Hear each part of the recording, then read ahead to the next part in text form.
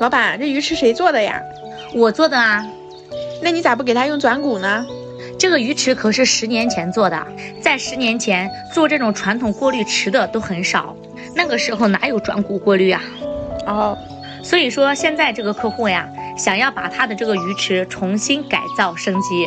所谓的改造呢，不是在这个旧鱼池的基础上改造，而是啊把它全部回填了，重新再做一个鱼池。现在的这个鱼池呢是在东边，按照客户的要求啊，在这个西墙再重新做一个鱼池。现在呢，已经开挖了。那有鱼友问了，那鱼池从东边挪到西边有什么意义吗？意义很大的，因为客户的工作地点做了调整，所以他就要改鱼池的方位。还有一点呢，就是他这个老鱼池已经做了十多年了，过滤系统也老化了，重新做鱼池就是重新调整景观。现在把这个老鱼池的防水破坏掉，用新鱼池的土给它回填。